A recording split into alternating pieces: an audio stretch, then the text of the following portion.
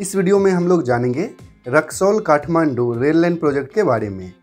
दोस्तों, नेपाल की capital city Kathmandu को इंडियन रेलवे के नेटवर्क से कनेक्ट करना केवल इसलिए नहीं ज़रूरी है कि इससे दोनों देशों के बीच व्यापार बढ़ेगा और इंडिया नेपाल के रिश्ते बेहतर होंगे।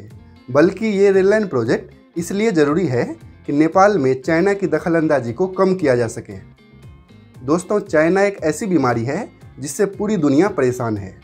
ऑलरेडी पिछले सालों में गलवान, डोकलाम और अलग अलग एरिया में चाइना के साथ लगातार झड़प हो रहा है। चाइना स्ट्रेटजिकली हमारे पड़ोसी देशों में कनेक्टिविटी पर काफ़ी ध्यान देने लगा है। पाकिस्तान में सी यानी कि चाइना पाकिस्तान इकोनॉमिक कॉरिडोर बना रहा है। खैर, पाकिस्तान से हमारा बॉर्डर सिक्योर है, लेकिन नेपाल से हमारा बॉर्डर मोस्टली ओपन ही है। और अगर नेपाल में चाइना इकोनॉमिक एक्टिविटी बढ़ाता है तो हमारी भी टेंशन बढ़ जाएगी। क्योंकि चाइना नेपाल में काठमांडू और लुम्बिनी तक रेल लाइन को बढ़ाने की प्लानिंग कर रहा है तो हमें चाइना से पहले ही नेपाल में रेल कनेक्टिविटी बढ़ाना होगा, ताकि चाइना को नेपाल में रोका जा सके। तो अभी हम लोग जानेंगे कि चाइना का क्या प्लान है नेपाल में, और उसके जवाब में इंडिया क्या प्लानिंग कर रहा है। तो इस वीडियो को लास्ट तक ज़रूर देखिए। दोस्तों, पिछले वीडियो में हम लोगों ने जयनगर जनकपुर कुर्था रेल लाइन के बारे में जाना था। इस रेल लाइन के बनने से नेपाल और इंडिया के बीच रेल कनेक्टिविटी हो गई है और इस रेल लाइन का अभी विस्तार भी किया जा रहा है। साथ ही रक्सौल और बीरगंज के बीच भी फ्रेट ट्रांसपोर्ट के लिए रेल लाइन बनाया गया है। इंडिया और नेपाल के बीच थर्ड रेल लाइन, जोगबन्नी और विराटनगर के बीच अभी बन रहा है। इन तीनों रेल लाइन के बनने से नेपाल और इंडिया के बीच रीजनल रेल कनेक्टिविटी हो जाएगी। लेकिन नेपाल की कैपिटल सिटी काठमांडू तक रेल के बनने से नेपाल के मैक्सिमम एरिया में रेल कनेक्टिविटी हो जाएगी। तो पहले हम देखते हैं कि चाइना का क्या प्लान है नेपाल में रेलवे को लेकर। दोस्तों, चाइना प्लान कर रहा है कि नेपाल में काठमांडू के साथ पोखरा और लुम्बिनी तक रेल लाइन को एक्सटेंड किया जाए। लुम्बिनी इंडिया के बॉर्डर से बिल्कुल नज़दीक है और बौद्ध धर्म के लोगों का एक पवित्र तीर्थ स्थल भी है और ये रेल लाइन तिब्बत के केरंग से नेपाल को कनेक्ट करेगा। तो इस रेल लाइन के बनने के बाद काठमांडू तक चाइना से बेहतर कनेक्टिविटी हो जाएगी और साथ ही लुम्बिनी तक चाइना की डायरेक्ट कनेक्टिविटी होने से इंडिया को काफ़ी ज़्यादा खतरा होगा। इस रेल लाइन की प्लानिंग चाइना काफ़ी पहले से ही कर रहा है, लेकिन 2014 में लहासा सीगेट से रेल लाइन के कंप्लीट होने के बाद चाइना ने इस रेल लाइन के लिए फिजिबिलिटी सर्वे भी शुरू कर दिया।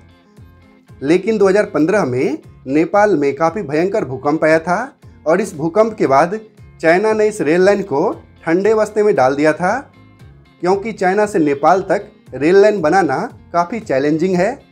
अर्थक्वेक प्रोन एरिया होने के साथ साथ हिमालय की ऊँची ऊँची पहाड़ियों से ये रेल लाइन क्रॉस करेगा। इन चुनौतियों के बावजूद भी चाइना इस रेल लाइन प्रोजेक्ट को कंप्लीट करना चाहता है और 2016 में नेपाल और चाइना के बीच फिर से समझौता हुआ इस रेल लाइन प्रोजेक्ट को बनाने के लिए। और 2018 में चाइना ने इस प्रोजेक्ट के लिए फिजिबिलिटी सर्वे का काम फिर से स्टार्ट कर दिया था। चाइना के प्लान को काउंटर करने के लिए इंडिया भी काठमांडू तक रेल लाइन की प्लानिंग कर रहा है। बिहार में रक्सौल, जयनगर और जोगबनी के अलावा उत्तर प्रदेश में बाबागंज बरही और कुशीनगर साथ ही वेस्ट बंगाल से भी न्यू जलपाईगुड़ी से नेपाल को रेल से कनेक्ट करना चाहता है। यानी कि जितना पॉसिबल हो सके हर एक रूट से नेपाल को रेलवे से कनेक्ट कर दिया जाए। मई 2019 में जब प्रधानमंत्री नरेंद्र मोदी जी नेपाल गए थे तो इंडिया के रक्सौल से नेपाल के काठमांडू तक रेल लाइन बनाने की सहमति बनी थी। कोंकण रेलवे को ज़िम्मेदारी मिली है रक्सौल काठमांडू रेल लाइन को एग्जीक्यूट करने का। रक्सौल इंडिया में बिहार में है तो रक्सौल से काठमांडू को कनेक्ट करने के लिए अभी चार रूट को सिलेक्ट किया गया है और इन अलग अलग चारों रूट में रक्सौल से काठमांडू की डिस्टेंस 150 से 200 किलोमीटर के बीच है। लेकिन काठमांडू के साथ साथ दूसरे महत्वपूर्ण सिटी को भी रेलवे से कनेक्ट किया जाएगा। तो इस रेल लाइन की लेंथ लगभग 200 किलोमीटर होगी। और रेलवे ऑफिशियल्स के अकॉर्डिंग इस रेल लाइन में अभी प्रीलिमिनरी सर्वे हो रहा है, लेकिन लैंड एक्विजिशन में काफ़ी प्रॉब्लम्स है, क्योंकि नेपाल को चाइना अपनी ओर अट्रैक्ट कर रहा है, जिस कारण से नेपाल लैंड एक्विजिशन में इंटरेस्ट नहीं ले रहा है। लेकिन ये रेल लाइन प्रोजेक्ट नेपाल से ज़्यादा इंडिया के लिए इम्पोर्टेंट है, नहीं तो चाइना नेपाल को अपनी जाल में फंसा लेगा और वहाँ पर रेल लाइन बनाकर आने वाले टाइम में इंडिया के लिए प्रॉब्लम्स क्रिएट करेगा।